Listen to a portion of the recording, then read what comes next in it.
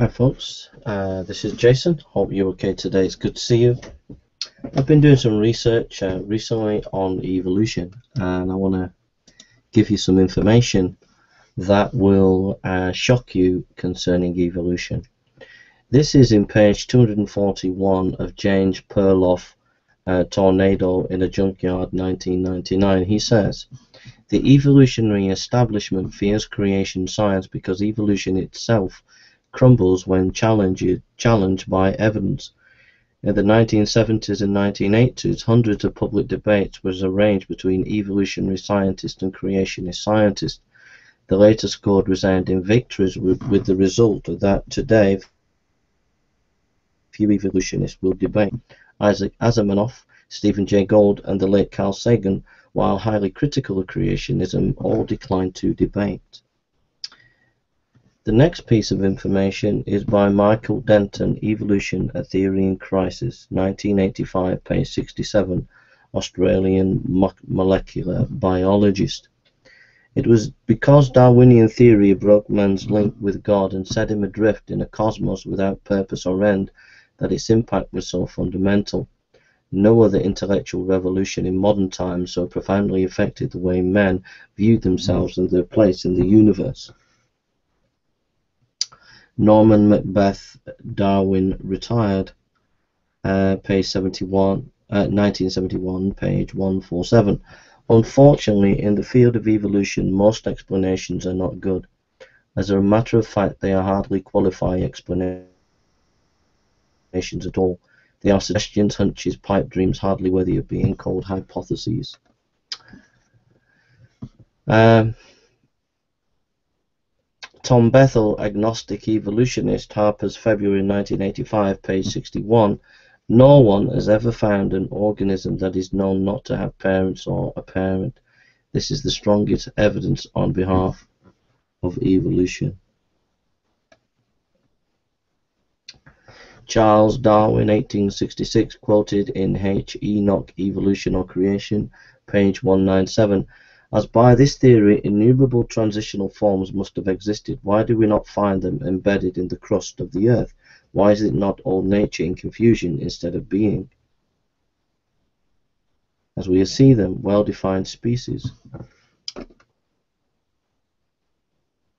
Scientists have no proof that life was not the result of an act of creation. Robert Jastrow, The Enchanted Loom, Mind in the Universe, 1981, page 19, leading astronomer.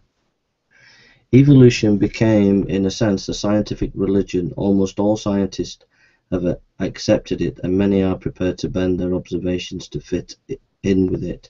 H. Lipson, a physicist, looks at evolution, Physics Bulletin 3198, page 138.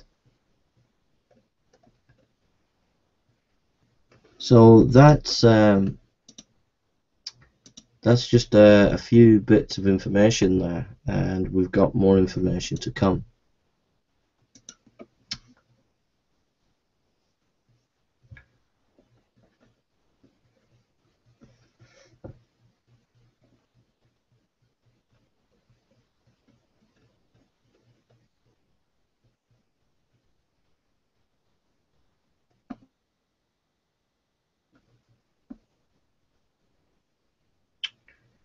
Just let's think about it. Let's just think about evolution, how it started. They call it abiogenesis, but just just think about this. Nothing plus nothing equals two elements plus time equals 92 natural elements plus time equals all physical laws and a complete structured universe of galaxies system, stars, planets, and moons orbiting in perfect balance and order. Think about that. Just think about it. Nothing plus nothing equals two elements plus time equals 92 nat natural elements plus time or physical laws, a completely structured universe of galaxies, system, stars, planets, and moons orbiting perfect balance and order. Is that rational? Is that really, really rational?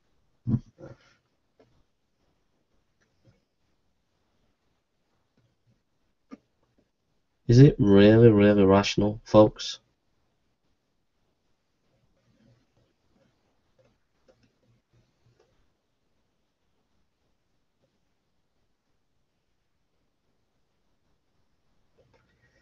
Here's a thought.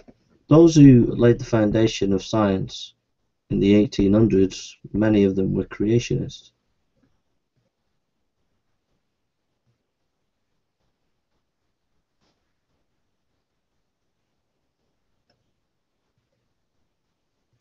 William Paley, 1743-1805, in his 1802 classic Natural Theology, said this,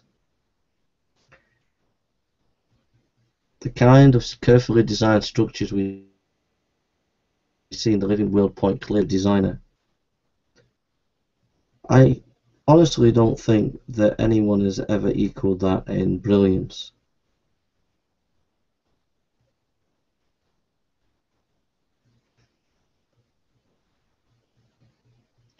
Fred Hoyle, um, an eminent scholar, said that Paley's argument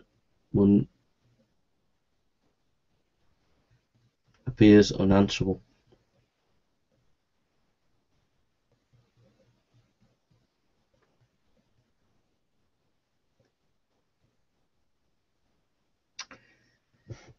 Um, there was scientific information before Darwin that actually disproved Darwinian evolution. Carl Carlos Linnaeus, 1707-1778, was a scientist who classified immense numbers of living organisms. An earnest creationist, he clearly saw that there were no halfway species. All plant and animal species were definite categories, separate from one another. Variation was possible within a species, and there were many subspecies, but there were no cross overs from the species to another. R. Milner, Encyclopedia of Evolution, 1990, page 76. The first law of thermodynamics, 1847. Heinrich von Helmholtz stated the law of conservation of energy. Sum total of all matter will always remain the same. This law refutes several aspects of evolutionary theory. Isaac Asimov calls it the most fundamental generalization about the universe that scientists have ever been able to make. Isaac Asimov in The Game of Energy and Thermodynamics You Can't Even Break Even. Journal of Smithsonian Institute, June 1970, page 6. The second law of thermodynamics, 1850, J. R. J. E. Close stated the law of entropy. All systems will tend towards the most mathematically probable state and eventually become totally random and disorganized. Harold Blum, Times, Arrow and Evolution, 1968, page 201. In other words, everything runs down, wears out, and goes to pieces. R. R. Kinsey, Physics To What Extent Is It Deterministic? American Scientist, uh, 56, 1968, page 100. This law totally eliminates the basic evolutionary theory that simple evolves into complex. Einstein said that two laws were the most enduring laws he knew knew of. Jeremy uh, Rifkin, Entropy, A New Worldview, 1980, page 6. Guadeloupe woman found 1812. This is a well authenticated discovery which has been British Museum for over a century. A fully modern human skeleton was found in the French Caribbean island of Guadeloupe inside an immense slab of limestone dated by modern geologist at 28 million years old. More examples could be cited. Human beings just like those living today, but sometimes larger, have been found in very deep levels of strata. Woohoo! You did tell us that, evolutionist. Gregor Mendel, 1822, 1844, 1884, was a creationist who lived and worked near Brunn, now Brno, Czechoslovakia. He was a science and math teacher. Unlike the, the theorist, Mendel was a true scientist. He bred garden peas and studied the results across various varieties. Beginning his work in 1856, he, 56, he concluded within eight years. In 1865, he reported his research in the Journal of Brunn Society for the Study of Natural Science. The journal was distributed to 120 libraries in Europe, England, and America, yet its research was totally ignored by the scientific community until it was rediscovered in 1900.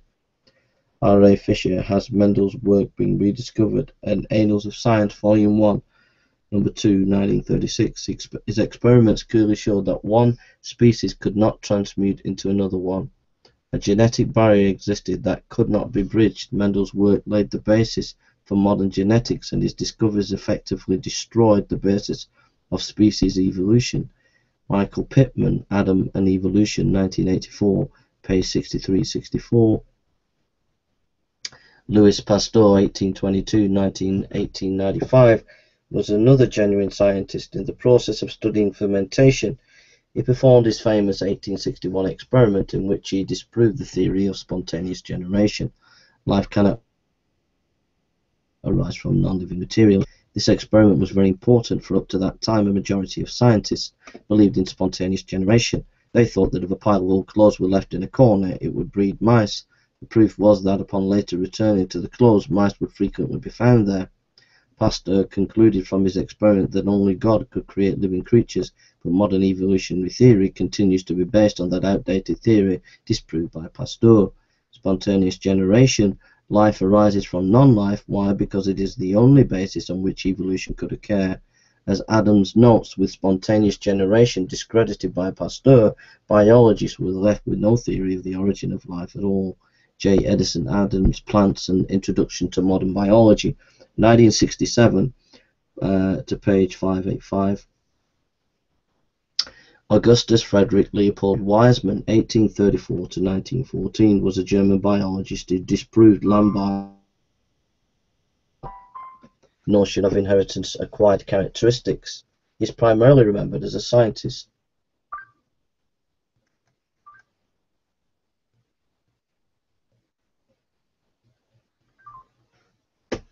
Sorry about that. Augustus Frederick Leopold Weismann 1834 to 1914 was a German biologist who disproved Lamarck's notion of the inheritance of acquired characteristics.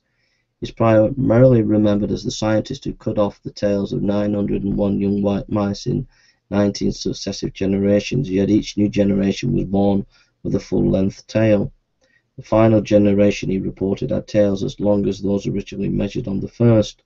Weismann also carried out other experiments that buttressed his refutation of Lamarckism. His discoveries, along with the fact that circumcision of Jewish males for 4,000 years had not, not affected the foreskin,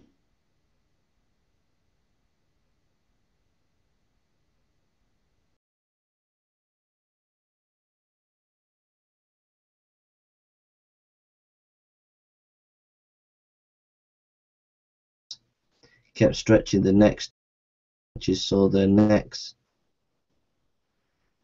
Yet Lamarckism continues today uh, as the disguised basis of evolutionary biology. For example, evolutionists still teach that giraffes kept stretching their necks to reach higher branches so their necks became longer.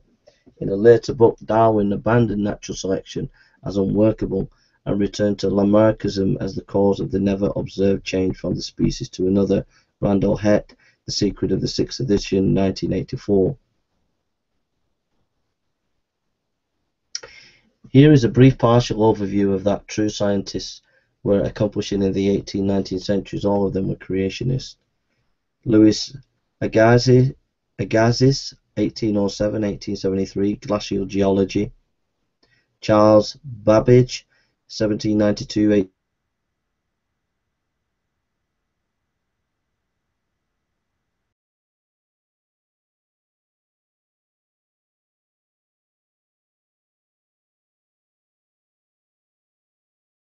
Brewster, 1781-1868, Optical Mineralogy, Kaleidoscope, George Cuvier, 1769 to 1837, 32, Comparative Anatomy, Vertebrate Paleontology, Sir Humphrey Davy, 1778-1829, th uh, Thermokinetics, Jean Henry Fabre, 1823-1915, Entomology of Living Insects, Michael Faraday, 1791 1867 electric generator, electric magnetic field theory, John Sir John A. Fleming, 1849-1945, electronics thermic valve.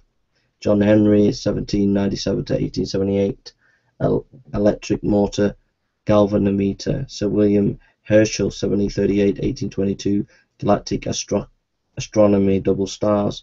James Joule, 1818-1889, reversible thermodynamics. Lord William Kelvin, 1824-1907, absolute temperature scale, energetics, thermodynamics, transatlantic cable. Johannes Kepler, 1571-1630, celestial mechanics, ephemeris tables, physical astronomy. Carlos Linnaeus, 1707-1778, classification system, systematic biology. Joseph Lister, 1827-1912, antiseptic surgery. Matthew Maury, 1806 1873, hydrography, oceanography. James C. Maxwell, 1831 1879, electrical dynamics, statistical thermodynamics. George Mendel, 1822 1884, genetics. Samuel B. Morse, 1791 1872, telegraph. Isaac Newton, 1642 1727, calculus, dynamics, law of gravity, reflecting telescopes. Blaise Pascal, 1623 1662, hydrostatistics, barometer. Louis Pasteur, 22 1895, bacteriology, biogenesis, law, pasteurization, vaccination, and immunization. Sir William Ramsay, 1852 1916, inert gases, isotopic chemistry. John Ray, 1827-1704, natural history, classification of plants and animals.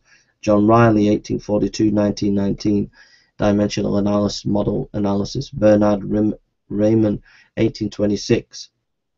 1866, non-Euclidean geometry. Sir James Simpson, 1811-1870, chloroform gynecology. Sir George Stokes, 1819-1903, fluid mechanics and Rudolf uh, Virchow, 1821-1902, Pathology.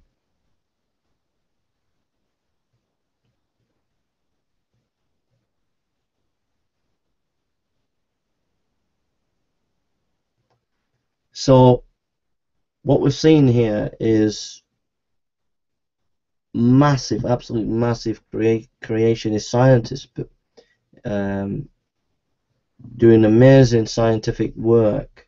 A number of those scientists completely giving us information that completely debunks evolution.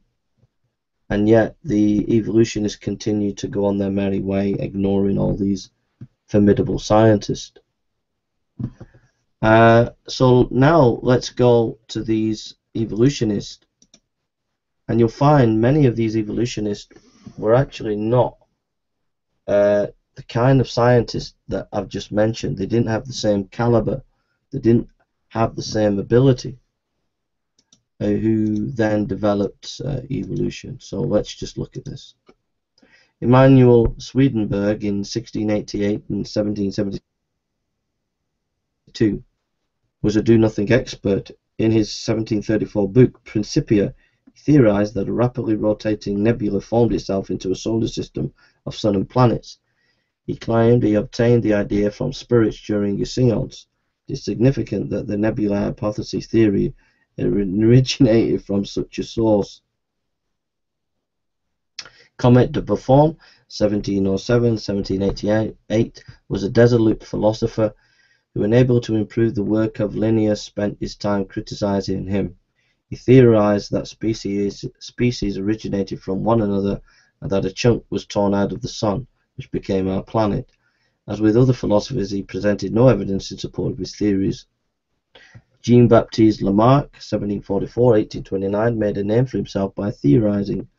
He accomplished little else of significance. He laid the foundation of modern evolutionary theory with his concept of inheritance of acquired characteristics, which was later given the name of Lamarckism. In 1809, he published a book, Philosophy zoologique, in which he declared that the giraffe got its long neck by stretching it up to reach the higher branches, and birds that lived in water grew web feet. According to that, if you pull hard on your feet, you will gradually increase their length, and if you decide in your mind to do so, you can grow hair and on your bald head, and your offspring will never be bald. This is science. Lamarck's other erroneous contribution to evolutionary was the theory of uniformitarianism, This is the conjecture that all earlier ages on the earth were exactly as they are today, calm and peaceful, with no worldwide flood or other great catastrophes. Robert Chambers, 1802 to 1883, was a spiritualist who regularly communicated with the spirits. As a result of his contacts, he wrote the first popular evolution book in all of Britain called Vestiges of Creation, 1844. It was printed 15 years before Darwin's book, Origin of Species. Charles Lyell, 1797 to 1875, like Charles Darwin, Lyell inherited great wealth and was able to spend his time theorizing. Lyell published his Principia of Geology in 1830 to 1833, and it became the basis for the modern theory of sed sedimentary strata, even though 20th century discoveries in radio dating and radiocarbon dating missing strata and overthrust older strata on top of more recent strata have nullified the theory. In order to prove this theory, Lyell was quite willing to misstate the facts. He learned that Niagara Falls had eroded a 7 mile uh, 11 kilometer channel from Queenston to Ontario and that it was eroding at about 3 feet 1 uh, a year. So Lyell conveniently changed that to 1 foot 3 a year, in which meant that the fall had been flowing for 35,000 years. But Lyell had not told the truth. Through erosion a year at its present rate of flow would only take us back 700 to 9,000 years, and it would be expected that just after the flood, the flow would for a time have greatly increased the erosion rate. Lyell was a close friend of Darwin and urged him to write his book Origin of Species. Alfred Russel Wallace in 1823-1913 is considered to be the man who developed the theory which Darwin published. Wallace was deeply involved in Spiritism at the time he formulated the theory in this Ternate paper which Darwin, with the help of two friends, Charles Lyell and Joseph Hooker, pirated and published under his own name. Darwin, a wealthy man, thus obtained the royalties which belonged to Wallace, a poverty-ridden theorist. In 1980, I'll read that again.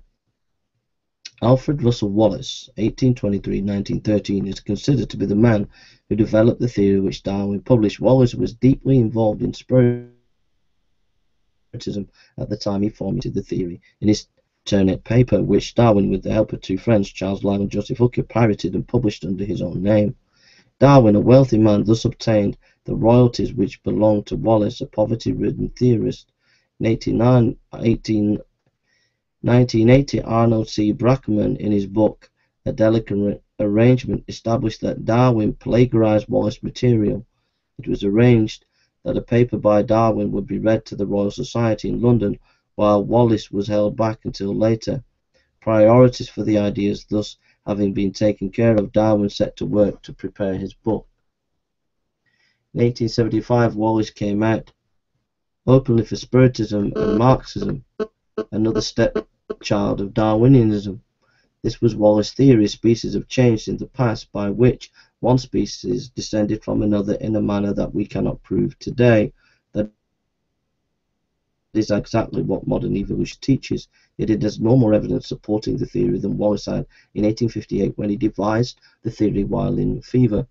February 1858, while in a delirious fever on the island of Ternate, in the Moluccas, Wallace conceived the idea of survival of the fittest as being the method by which species change, but the concept proves nothing the fittest, which one is that? Is it the one that survived longest, which one survived longest? The fittest, this is a reasoning in a circle. The phrase says nothing about the evolutionary process, much less proving it. In the first edition of his book, Darwin regarded natural selection and survival of the fittest as different concepts. By the sixth edition of his Origin of the Species, he thought they meant the same thing, but that survival of the fittest was the more accurate. In still later book, Descent of Man, 1871, Darwin ultimately abandoned natural selection as a hopeless mechanism and returned to Lamarckism. Even Darwin recognized the theory was falling to pieces. The supporting evidence just was not there. Charles Darwin, 1809 to 1882, was born into wealth and able to have a life of ease. He took two years of medical school at Edinburgh University and then dropped out. It was the only scientific training he ever received. Because he spent the time in bars and with friends, he barely passed his courses. Darwin had no particular purpose in life, and his father planned to get him into a nicely paid job as an Anglican minister. Darwin did not object. but an influential relative got him a position as an unpaid naturalist on a ship planning to sail around the world, the Beagle. The voyage lasted from December 1831 to October 1836. It is of interest that, after engaging in Spiritism, certain men in history have been seized with a deep hatred of God and have then been guided to devise evil teachings that have destroyed large numbers of people, while others have engaged in warfare which have annihilated millions. In connection with this, we think of such non-spirits as Sigmund Freud and Adolf Hitler. It is not commonly known that Charles Darwin, while an naturalist aboard the Beagle, was initiated into witchcraft in South America by nationals. During horseback travels into the interior, he took part in their ceremonies, and as a result, something happened to him. Upon his return to England, although his health was strangely weakened, he spent the rest of his life working on theories to destroy faith in the Creator. After leaving South America, Darwin was on the Galapagos Island for a few days. While there, he saw some finches which had blown in from South America and adapted to their environment, producing several subspecies. He was certain that this showed cross-species evolution, changing to new species, but they were still finches. This theory about the finches was the primary evidence of evolution he brought back with him to England. Darwin, never a scientist and knowing nothing about the particularities of genetics, then married his first cousin, which resulted in all seven of his children having civic, physical or mental disorders. One girl died after birth, another at 10. His oldest daughter had a prolonged breakdown at 15. There of his children became semi-invalids, and his last son was born mentally retarded and died 19 months after his birth. His book Origin of Species was first published in November 1859. The full title of the, on the origin of the species by means of natural selection or the preservation of the favored races in the struggle for life reveals the viciousness of the underlying concept. This concept led directly to two of the worst wars in the history of mankind. In his book, Darwin reasoned from the theory to the facts and provided little evidence for what he had to say. Modern evolutionists are ashamed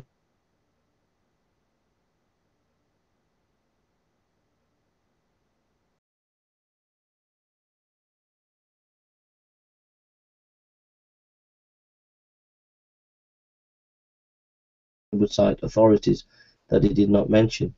He repeatedly said it was only an abstract and a fuller edition would come out later, but although he wrote other books, try as he may, he never could find the proof for his theories, nor one since has found it either.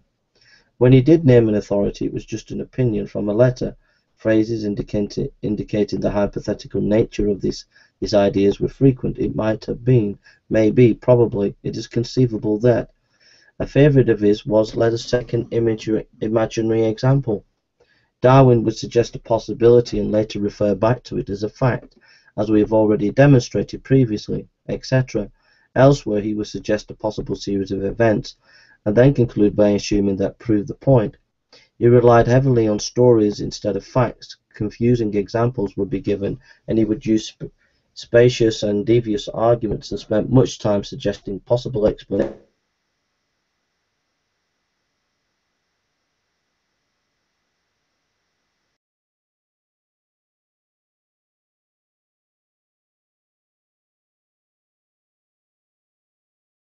in the strata. Later these changed species traveled over to the western world to be found in strata. There is new species, so species were changing on the other side of the world and that was why species in the process of change were not found on the other side. We're thinking like this who need science, but remember that Charles Darwin never had a day of schooling in the sciences. Here is Darwin's explanation of how one species changed into another. It is a variation of Lamarck's theory of inheritance of acquired characteristics. Nicholas Hotton, Third Evidence of Evolution, 1962, page 138, calling it pangenesis. Darwin said that an organ affected by the environment would respond by giving off particles that he called gemmules. These particles supposedly helped determine hereditary characteristics. The environment would affect an organ, gemmules would drop out of the organ, and the gemmules would travel to the reproductive organs where they would affect the cells. W. Stansfield, Scientific Science of Evolution, 1977, page 38. As mentioned earlier, scientists today are ashamed of Darwin's ideas. In his book, Darwin taught taught that man came from an ape and that the stronger races would within a century or two destroy the weaker ones, modern evolutionists claim that man and ape descend from a common ancestor. After taking part in the witchcraft ceremonies, not only was his mind affected, but his body also. He developed a chronic and in incapacitating illness and went to his death under a depression he could not shake. Random House Encyclopedia, 1977, page 768. He frequently commented in his private letters that he recognized there was no evidence for his theory and that it could destroy the morality of the human race. Long before the reader has arrived at this part of my work, a crowd of difficulties will have occurred to him. Some of them are so serious that to this day I can hardly reflect on them without in some degree becoming staggered. Charles Darwin, Origin of Species, 1860, page 178, quoted from Harvard Classics, 1909 edition, volume 11. Often a cold shudder has run through me, and I have asked myself whether I may have not devoted myself to fantasy. Charles Darwin, Life and Letters, 1887, Volume 2, page 229. The next uh, evolutionist um, that we're going to be looking at is um, is uh, Thomas Huxley, 1825, 18 to 1895, was the man Darwin called my bulldog. Darwin was so frail in health that he did not make public appearances, but he remained secluded in the mansion he inherited after being personally converted by Darwin on a visit to Darwin's home. Huxley championed the evolutionary cause with everything he had. In the later part of the 19th century, while Haeckel laboured earnestly on the European continent Huxley was Darwin's primary advocate in England. The X Club was a secret society in London which worked to further evolutionary thought and suppress scientific opposition to it. It was powerful, for all scientific papers considered by the Royal Society had to be first approved by this small group of nine members. Chaired by Huxley, its members made contacts and powerful, effective British scientific associations Michael Pitman, Adam and Evolution, 1984, page 64. Woo! You don't learn this in science class. But what do they do? asked a curious journalist. They run British science, the professor replied, and on the whole they don't do it badly. R. Milner, Encyclopedia of Evolution, 1990, page 467. That's amazing. In the 20th century, U.S. government agencies working closely with the National Science Federation and kindred organizations have channeled funds for research to universities willing to try and find evidence for evolution. Down to the present day, theorists are still trying to control the scientists. The Oxford debate was held in June 1860 at Oxford University.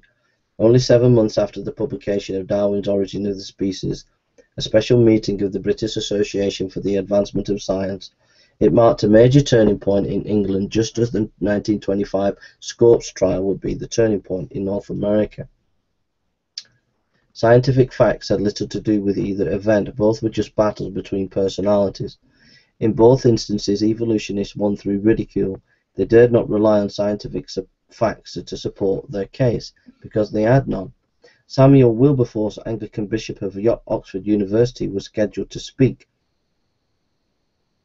that evening in defence of creationism. Huxley had lectured on behalf of evolution in many English cities and was not planning to attend that night, but Chambers, the spiritualist adviser to Huxley, was impressed to find and tell him he must attend. Wilberforce delivered a vigorous attack on evolution for half an hour before a packed audience of 700 people. His presentation was outstanding and the audience was apparently with him. But when Wilberforce turned and rhetorically asked Huxley a humorous question whether it was through his grandfather or his grandmother that Huxley claimed descent from an ape. Huxley was extremely sharp-witted, and at the bishop's question he clasped the knee of the, the person sitting next to him and said, He is delivered into my hands. Huxley arose, worked the audience up to a climax, and then declared that he would feel no shame in having an ape as an ancestor, but would be ashamed of a brilliant man who plunged into scientific questions of which he knew nothing. John W. Clutt, Science and Religion in Studies in Creation, 1980. 5, page 4546. At this, the entire room went wild, some yelling one thing and others another. On a pretext so thin, the evolutionist in England became a power which scientists feared to oppose. We will learn that ridicule heaped on ridicule through the public press accomplished the same results for American evolutionists in Dayton, Tennessee in 1925. The Or Orgueil meteorite, 1861, was one of the many hoaxes perpetuated to further the cause of evolution. Someone inserted various dead microbes and then covered it over with a surface appearing like the meteorite. The object was to show that life came from outer space, but the hoax was later discovered, Scientific America, January 1965, page 52. A remarkable number of hoaxes have occurred since then. Men working desperately have tried to provide scientific evidence that does not exist. In the mid 1990s, a meteorite from Mars with a dead organism on it was trumpeted in the press, but ignored were the conclusions of competent scientists that discovered was highly discovery was highly speculative. Sir Francis Galton in 1822 to 1911, Galton was Charles Darwin's cousin, who amplified on one of the theory's logical conclusions. He declared that the science of eugenics was the key to humanity's problems, put the weak infirm and aged to sleep. Adolf Hitler, an ardent evolutionist, used it successfully in World War II. Otto Scott playing God in, in Chalcedon Report number 247, February 8, 1968, page 1. Wallace break with Darwin. Darwin's close friend Russel Wallace eventually separated from Darwin's position, a position he given Darwin when one realized that the human brain was far too advanced for an evolutionary process to have produced it. Lawrence C. Eiseley was Darwin wrong about the human brain? Harper's Magazine, 1955. Herbert Spencer, 1820-1903, along with certain other men, Friedrich Nietzsche, Karl Marx, and Sigmund Freud, John Dewey introduced evolutionary modes of morality into social fields, social sociology, psychology, education, welfare, economics, with devastating effects on the 19th, on the 20th century. Spencer, also a spiritist, was the one who initially invented the term evolution. R. Milner, Encyclopedia of Evolution, 1990, page 159. Spencer introduced sociology into Europe, clothing it in evolutionary terms. From there it travelled to America. He urged that the unfit be eliminated so society could properly evolve. Harvey E. Barnes, Historical Sociology, 1948-13. In later years, even the leading evolutionists of the time, such as Huxley and Darwin, became tired of the fact that Spencer could do nothing but theorize and knew so little of real-life facts. The Archaeopteryx, 1861 to 1877. These consisted of several fossils from a single limestone quarry in Germany, each of which the quarry owner sold at high price. One appeared to possibly be a small dinosaur skeleton complete with wings and feathers. European museums paid high prices for them as well, as we will learn below. In 1985, the, the Archaeopteryx was shown to be a fake. Ernest Haeckel in 1834 to 1990, a teacher at the University of Jena in Germany, was the most zealous advocate of Darwinism on the continent in the 19th century. He drew a number of fraudulent charts first published in 1868 which purported to show that embryos were almost identical to those of other animals. Reputable scientists repudiated them a few years within a few years for embryologists recognized the deceit. See chapter 16 Vestiges and Recapitulation on our website for the charts. Darwin and Haeckel had a strong influence on the rise of world communism. Daniel uh, Scientific Origins of National Socialism, Social Darwinism in Ernest Haeckel and the German Mon Monist League, 1971. Marsh Horse Series, 1870, Othniel C. Marsh claimed to have found 30 different kinds of horse fossils. In Wyoming and Nebraska, he re reconstructed and arranged them in a small to large evolutionary series, which was never in a straight line. Encyclopedia Britannica, 1976, volume 7, page 13. Although displayed in museums for a time, the great majority of scientists later repudiated this foresee Charles Depper, Transformations of the Animal World, page 105. J. A. Kerkut, Implications of Evolution, 1960, page 149. Friedrich Nietzsche, 1844-1900. 1900, Nietzsche was a remarkable example of a man who fully adopted Darwinian principles. He wrote books declaring that the way to evolve was to have wars and kill the weaker races in order to produce a super race. T. Walter Wallbank, Alston, M. Taylor, Civilization, Civilization Past and Present, Volume 2, 1949, page 274. Darwin in Origin of Species also said that this needed to happen. The writings of both men were read by German militarists and led to World War One. Hitler valued both Darwin's and Nietzsche's books. When Hitler killed six million Jews, he was only doing what Darwin taught. It is of interest that a year before he defended John Scott's right to teach Darwinianism at the Dayton monkey trial, Clarence Darrow declared in court that the murderous thinking of two young men was by their having learned Nietzsche's vicious Darwinism in the public schools. W. Brigham classified speeches. Asa Gray was the first leading theistic evolutionary advocate in America at the time when Darwin was writing in his books. Gray, a Presbyterian, worked closely with Charles W. Eliot, president of Harvard, in promoting evolution as Christian teaching, yet teaching long ages and the book of Genesis as fable. The Challenger was a British ship dispatched to find evidence on the ocean bottom of of evolutionary change during its 1872 to 1876 voyage it carried on seafloor dredging but found no fossils developing on the bottom of the ocean. By this time, it was obvious to evolutionists that no fossils were developing on either land or sea, yet they kept quiet about the matter. Over the years, theories, hoaxes, false claims, and ridiculous favoring evolution were spread abroad, but facts refuting it when found were kept hidden. Karl Marx, 1888, 1818, 1883, is closely linked with Darwinianism, that which Darwinian, Darwin did to biology, Marx, with the help of others, did to society. All the worst political philosophies of the 20th century emerged from the dark cave of Darwinianism. Marx was thrilled when he read Origins of Species and he immediately wrote Darwin and asked to dedicate his own major work, Das Kapital, to him. Darwin, in his reply, thanked him but said it would be best not to do so. In 1866, Karl Marx wrote to Frederick Engels the origin of the species contained the basis in natural history for their political and economic system for an atheist world. Engels, the co-founder of world communism with Marx and Lenin, wrote to Karl Marx in 1856, Darwin, who I am just now reading, is splendid. See Zirkle, Evolution, Marxian Biology, and the Social Scene, 1959. Page 85. In 1861, Marx to Engels, Darwin's book is very important and serves me as a basis in natural selection for the class struggle in history.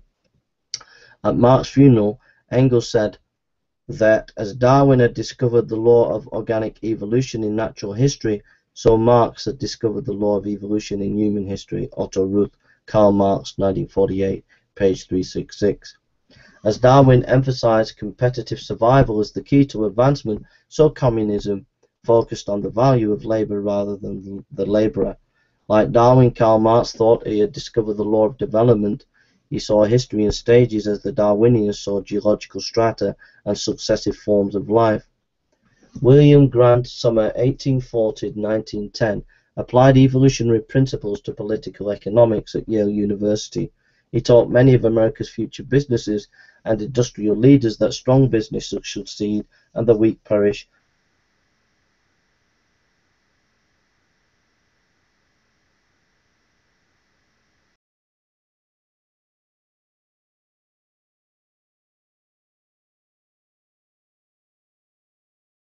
millionaires in the fittest modern laissez-faire capitalism was the result. Gilman M. Ostrander, The Evolutionary Outlook, 1875, 1900, 1971, page 5. William James, 1842, 1910, was another evolutionist who influenced American thinking. His view of psychology placed the study of human behavior on an, an, an animalistic evolutionary basis tidal hypothesis theory, George Darwin, son of Charles Darwin, wanted to come up with something original, so he invented the theory that 4 million years ago the moon was pressed nearly against the earth, which resolved every 5 hours. Then one day a heavy tide occurred in the ocean which lifted it out of its present location. Later proponents of George's theory decided that the Pacific Basin is the whole moon left behind when those large ocean waves pushed it out into space. Bumpus Sparrows, 1898. Hermon Bumpus was a zoologist in Brown University during the winter of 1898. By accident, he carried out one of the only field experiments in natural selection. One cold morning, finding 136 stunned house sparrows on the ground, he tried to nurse them back to health. Of the total, 72 revived and 64 died. He weighed and carefully measured all of them and found that those closest to the average survived best. This frequently quoted research study is another evidence that the most animal or plant closest to the original species is the most hardy. Subspecies variations will not be as hardy. An evolutionary entirely cross species, if the DNA code would permit it, would therefore be to weaken to survive. R. Milner, Encyclopedia of Evolution, 1990, page 61. Hugo de Vries, 1848 to 95, was a Dutch botanist and one of the three men who in 1900 rediscovered Mendel's paper on the law of heredity. One day while working with Primrose, de Vries thought he had discovered a new species. This made headlines. He actually had found a new variety, subspecies of primrose, but de Vries conjectured that perhaps this new species had suddenly sprung into existence as a mutation. He theorized that new species saltated leaped, that is, continually spring into existence. His idea is called saltation theory. This was a new idea, and during the first half of the 20th century, many bio evolutionary biologists, finding absolutely no evidence supporting natural selection, switched from natural selection Darwinism to mutation neo-Darwinism as the mechanism by which the theory cross-species change occurred. Later in this book, we will discover that mutations cannot produce evolution either, for they are always harmful. In addition, decades of experimentation have revealed they never produce new species. In order to produce the, produce the mutation theory, de Vries and other research immediately began experimentation on fruit flies and it has continued ever since, but totally without success in producing new species. Ironically, de Vries' saltation theory was based on an observational error. In 1914, Edward Jeffreys discovered that de Vries' primrose was just a new variety, not a new species. Des decades later, it was discovered that most plant varieties were produced by variations in gene factors, rarely by mutations. Those caused by gene variations may be strong, although not as strong as the average original, but those varieties produced by mutations are always weak and have a poor survival rate. See Chapter 10 Mutations for much more on the mutations problem. Walter S. Sutton and TV Boveri independently discovered chromosomes and the linkage of genetic characters. This was only two years after Mendel's research was rediscovered. Scientists were continually learning new facts about the fixity of species. Thomas Hunt Morgan, 1886 to 1945, was an American biologist who developed the theory of the gene. He found that the genetic determinants were present in definite linear order in the chromosomes and could be somewhat mapped. He was the first to work intensively with the fruit fly. Drosophila, Michael Pitman, and Adam Evolution in 1984, page 70. But research within the fruit flies and other creatures has proved a total failure in showing mutation to be a mechanism for cross-species change. Richard B. Goldschmidt, Evolution as Viewed by One Geneticist, American Scientist, January 1952, page 94. H. J. Muller, 1990-1967, upon learning of the 1927 discovery that X-rays, gamma rays, and various chemicals could induce an extremely rapid increase of mutations in the chromosomes of test animals and plants, Muller pioneered in using X-rays to greatly increase the mutation rate in fruit flies. But all he and other researchers found was that mutation were always harmful. H. G. Muller, H. G. Muller Time, November 11, 1946, page 38. E.G. Gardner, Principles of Genetics, 1964, page 192. Theodosius W. Ansky, Genetics and the Origin of Species, page 1951, page 73. Sigmund Freud, 1856 to 1936, was deeply indebted to the evolutionary training he received in Germany as a man. He fully accepted it as well as Haeckel's recapitulation theory. Freud began his introductory lectures on psychoanalysis 1916 within Haeckel's premise. Each individual somehow recapitulates in an abbreviated form the entire development of the human race. R. Milner, Encyclopedia of Evolution, 1990, page 177. Freud's, Freud's Oedipus complex was based on a theory of primal, primal horde he developed about a mental complex that cavemen families had long ago. His theories of anxiety complex and oral and anal stages were based on his belief that our ancestors were savages. H. G. Wells, 1866 to 1946, the scientific pioneer, science fiction pioneer, based his imaginative writing on ev evolutionary teachings. He had received a science training under Professor Thomas H. Huxley, Darwin's chief defender. Sir Arthur Conan Doyle, 1856 to 1930, like a variety of other evolutionary leaders before and after, was an avid spiritist. Many of his mystery stories were based on evolutionary themes. George Bernard Shaw, 1856 to 1950, was so deeply involved in evolutionary theory that he openly declared that he wrote his plays to teach various aspects of the theory. R. Milner, Encyclopedia of Evolution, 1990, excuse me, page 461. Piltdown Man, 1912. 1912, parts of a jaw and skull were found in England and dubbed Piltdown Man. News of it created a sensation. Excuse me. The report of a dentist in 1916 who said someone had filled down the te- filed down the teeth was ignored. As we will learn below, in 1953, the fact that it was a total hoax was uncovered. This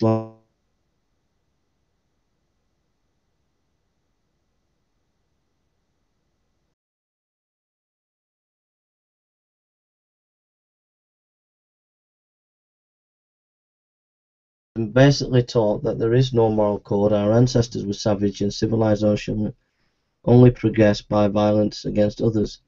It therefore led to extreme nationalism, racism, and warfare through nations, Nazism, and fascism. Evolution was declared to involve natural selection, and in the struggle to survive, the fittest will win out at the expense of their rivals. Frederick von Bernhard a German military officer wrote a book in 1909 extolling evolution and appealing to Germany to start another war. Heinrich von Trench, a Prussian militarist, loudly called for war by Germany in order to fulfill its evolutionary destiny. Heinrich von Trench, Politics, Volume 1, page 6667. Their teachings were fully adopted by the German government and it only waited for a pretext to start the war R. Milner, Encyclopedia of Evolution, 1990, page 59.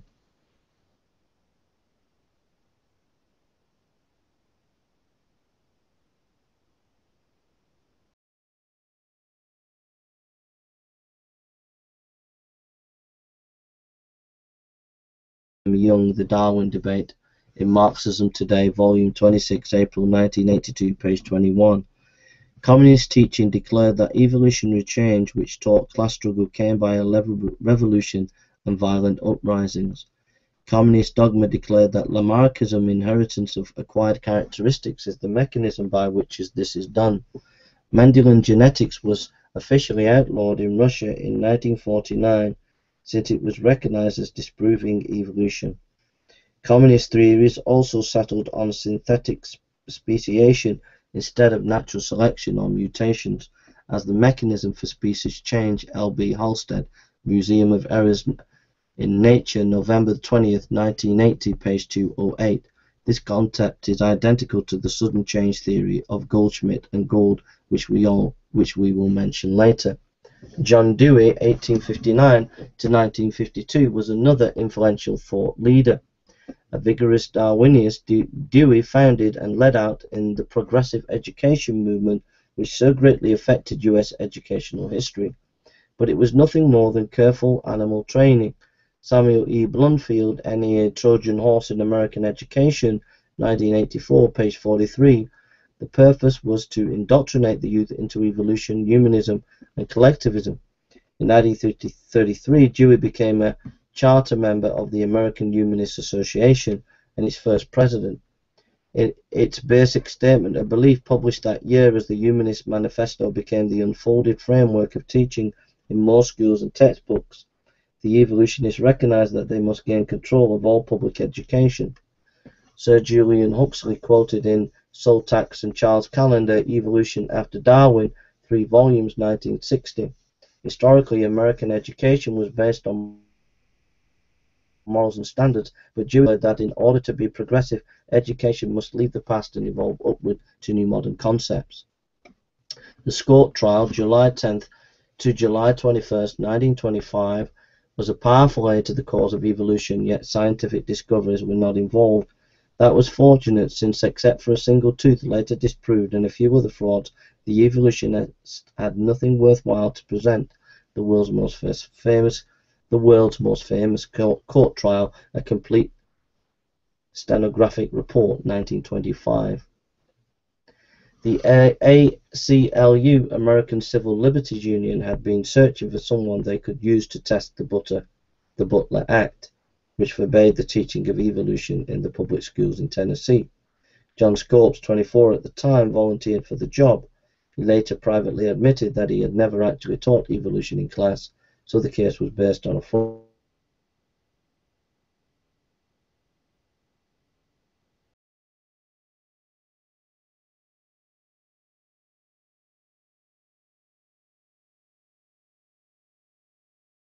never dare oppose evolutionists. The entire trial, while reportedly as the Tennessee trial, monkey trial, Tennessee monkey trial was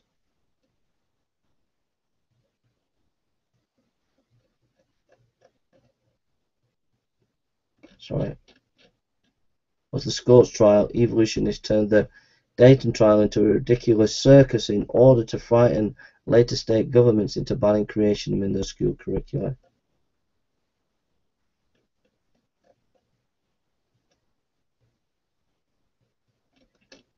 Sorry about this. The Tennessee monkey trial was presented to the public as something of a comic opera. A trained ape was even sent in to walk around on chain on the streets of Dayton, but the objective was deadly serious, and they succeeded very well.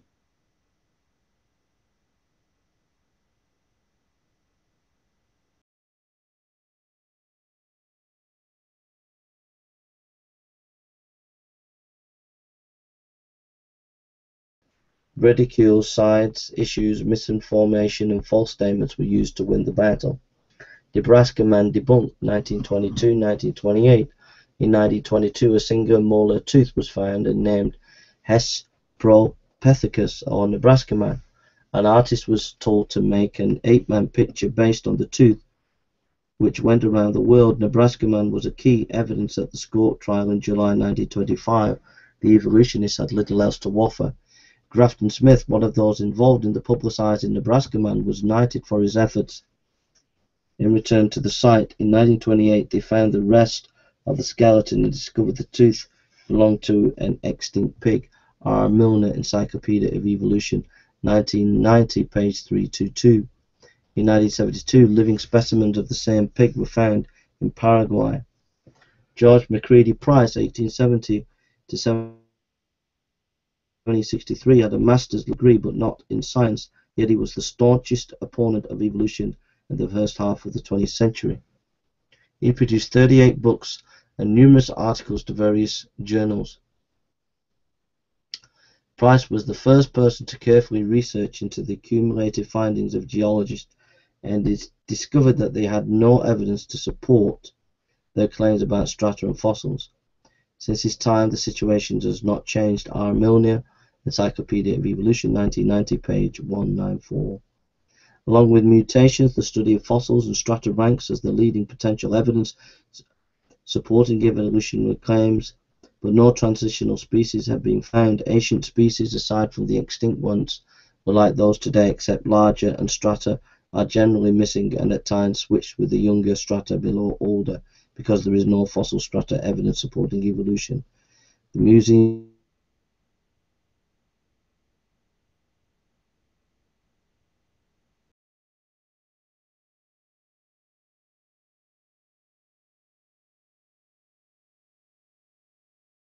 Oliver Wendell Holmes, Jr., 1841 to 1935, powerfully affected the U.S. Supreme Court in both viewpoint and legal precedent. He was forceful in his position and a leading justice for 30 years. The prevalent view since his time is that law is a product of evolution and should continually evolve in accordance with the social policy. But this, of course, keeps taking America further and further from the U.S. Constitution. Vladimir Nikolai Lenin, 1870-1924, and Joseph Stalin, 1879-1953. Lenin was an ardent evolutionist who in 1918 violently overthrew the Russian government and founded the Soviet Union. According to Yotsky, a close friend of his, at an early age while attending a Christian Orthodox school, Stalin began to read Darwin and became an atheist. He Yalatsky landmark in the life of Stalin, 1940, page 8 9 and 9. Stalin was headed for the Soviet Union from 1824 1953. During these years, he was responsible for the death of millions of Russians who refused to yield to his slave state tactics. The Soviet Union under Stalin was an outstanding example of Darwinian principles extended to an entire nation. Austin H. Clark, (1880 1954), an ardent evolutionist, was one of the staff of the Smithsonian Institute from 1908 to 1950 and a member of several important scientific organizations. A prominent scientist, he authored several books and about 600 scientific articles. But after years of honestly trying to deal with the fact that there is no evidence for cross-species change, in 1830 he wrote an astounding book, The New Evolution, Zoogenesis. In it, he cited facts after facts disproving the possibility that major types of plants and animals could have evolved from one another. The book was breathtaking and could not be answered by any evolutionist. His alternative pro proposal, zoogenesis, was the very major type of plant and animal must have evolved not from one another but directly from dirt and water. A. Clark, The New Evolution, Zoogenesis, page 30, 1930, page 211. The evolutionary world was stunned into silence, for he was an expert. He knew all the reasons why trans-species evolution was impossible. Well, we'll leave it there. Um, all this information, uh, we've got up to page 44. All this information can be found in the Evolution Cruncher by Vance Ferrell um, and it's a thousand. It's a 965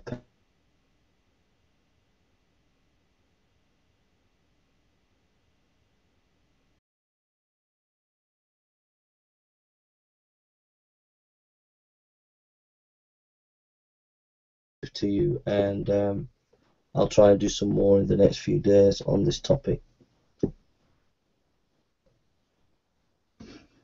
So I hope it's informative to you. All the information I say again was from the Evolution Crunch of Vincent Ferrell. Uh, give you permission to use the material and to spread the information and I hope that you found uh, all the information a help. Uh, if you go to evolution-facts.org um, evolution-facts.org uh, Evolution Cruncher by Vance Ferrell, BA, MA, published by Evolution Facts, Incorporated, Box 300, Altamont, TN 37301, USA. Uh, so, this is um, Vance Ferrell's text.